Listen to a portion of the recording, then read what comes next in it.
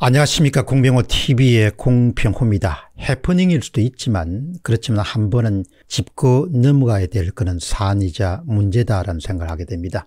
대통령이 금리에 관한 발언입니다. 청와대의 임세은 부대변인은 30일 날 개최된 국무회의 결과를 브리핑하면서 참으로 이해하기 힘든 누구도 받아들이기 힘든 그런 주장을 내놓았습니다. 임시원 부대변인이 문재인 대통령의 발언이라고 소개한 내용은 다음과 같습니다. 신용이 높은 사람은 낮은 이자율을 적용하고 경제적으로 어려워서 신용이 낮은 사람이 높은 이율을 적용받는 것은 구조적 모순이다. 이 자체가 말이 되지 않는 것이죠. 이자에는 리스크를 반영하게 되는데 당연히 신용도가 낮은 사람은 돈을 떼일 가능성이 높기 때문에 금리가 높을 수밖에 없는 것이죠. 이것을 정면으로 반대하는 그런 대통령의 발언이 있었던 겁니다. 또다시 임 부대변인이 대통령 말씀이라고 이렇게 전한 내용은 저 신용자들이 불법 사금융 등에 내몰리지 않도록 더욱 형평성 있는 금융구조로 개선되게 노력해달라 이런 말씀을 3월 30일 날 국무회의 석상에서 발언한 것이라고 임세은 부대변인이 발표한 겁니다. 신용이 낮은 사람은 높은 이자율을 그리고 신용이 높은 사람은 낮은 이자율을 이것은 모두가 다 아는 경제의 진실입니다. 음, 대통령이 무슨 근거로 완전히 반대되는 이야기를 하였을까 이런 비판이 일어나자 커피 임세원 부대변인은 3월 31일 날 자신의 페이스북을 통해서 정정 그런 글을 내놓았습니다. 대통령 말씀 취지는 정상적으로 작동하는 신용과 리스크 간 상관관계에 대한 금융구조가 모순되는 그런 말씀이 아니고 경제 취약자들의 어려운 현실이 모순되기 때문에 그 안타까움을 최소화하자는 그런 취지로 말씀을 하신 겁니다. 그러나 누구든지 생각할 겁니다. 대통령이 하지 않은 말을 부대변인이 감히 만들었어 기자들에게 브리핑을 한다. 이것을 믿을 수 있는 사람이 있겠습니까? 이것을 믿을 수 있는 사람은 세상에 없을 것입니다. 대통령이 이런 발언을 하였을 가능성을 보여주는 또 하나의 증거는 청와대 홈페이지에 나와 있는 3월 30일 날 국무회의에 관한 서면 브리핑 내용입니다. 이 내용을 보면은 이번 금리 발언은 대통령의 입에서 나왔을 가능성이 매우 높다는 것을 우리에게 보여주고 있습니다.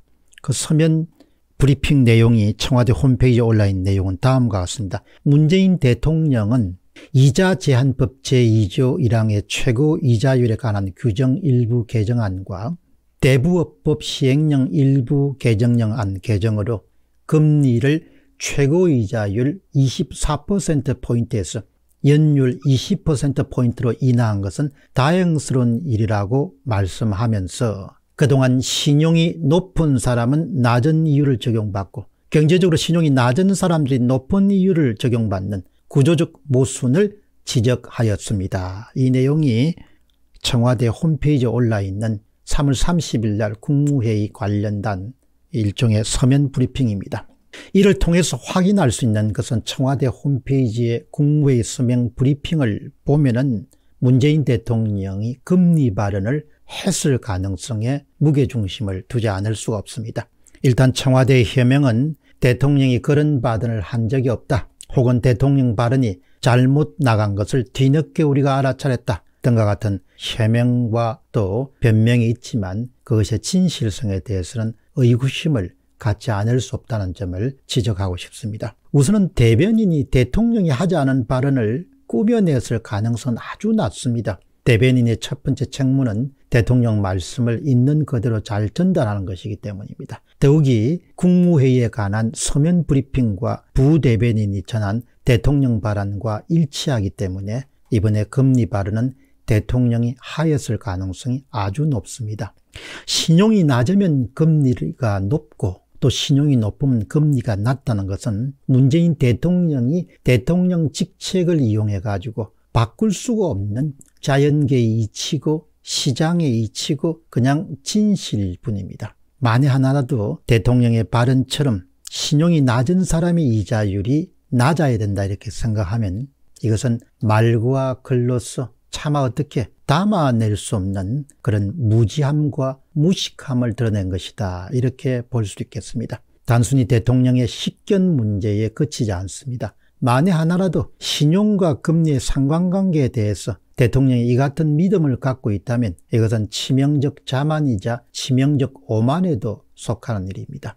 일반인들의 자만과 오만은 개인적인 실패나 개인적인 어려움으로 끝나게 됩니다. 그러나 지도자의 자만과 오만은 잘못된 정책과 잘못된 제도를 낳게 되고 또 잘못된 정책과 잘못된 제도는 수많은 그런 사람들을 어려움에 빠뜨릴 수가 있고 나라를 공경에 처하게 만들 수 있습니다.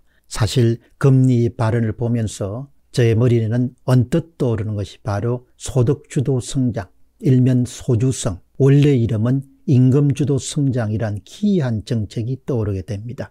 온전한 정신으로 정상적인 정신을 갖고 있는 사람들 가운데 임금을 올리면 성장이 뒤를 따른다는 것은 믿을 수가 없습니다. 그러나 그런 어처구니 없는 믿음의 바탕을 두고 결국 정책이 구체화되고 그 정책으로 인해서 현재의 구조적인 실험 문제의 단초를 제공하고 경제 생태계에 심대한 그런 손상을 주었다. 이런 점은 현장에 있는 사람들은 다 일치되는 견해입니다. 물론 소주성이 현재의 실험 문제에 모든 것에 책임이 있는 것은 아닙니다. 그러나 좀 더 천천히 했더라면 경제 충격을 훨씬 더 줄일 수 있는 정책이었던 것은 사실입니다.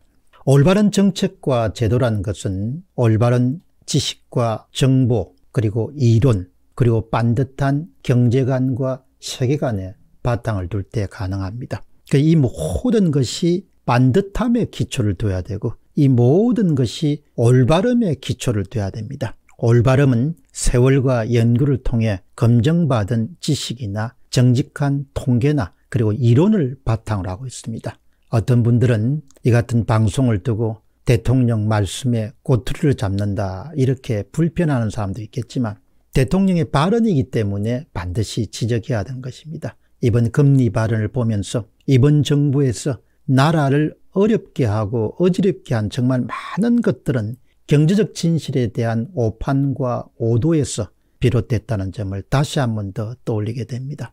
모르는 것은 죄가 아닙니다. 물어보고 그리고 전문가들 이야기도 들어보고 현장 사람들의 이야기를 들어보고 그래서 들으면서 배워가면서 하면 모르는 것은 절대 죄가 될 수 없습니다. 단 주의해야 될 것은 모르는 것을 아는 채 하는 그런 것이고 또 자신의 식견을 다른 사람들의 견해보다도 월등히 우월한 것이다. 그렇게 믿는 것이 바로 아주 큰 잘못입니다. 무엇이든 사실과 진실에서 시작돼야 된다. 이 점을 지적하고 이번에 금리 발언을 문정부 하에서 이루어졌던 많은 정책의 전체적인 틀 속에서 이해하면 은 정말 올바른 그런 식견에서 정책과 제도가 나온다는 사실을 다시 한번 더 환기하게 됩니다. 공병호 TV의 공병호였습니다. 감사합니다.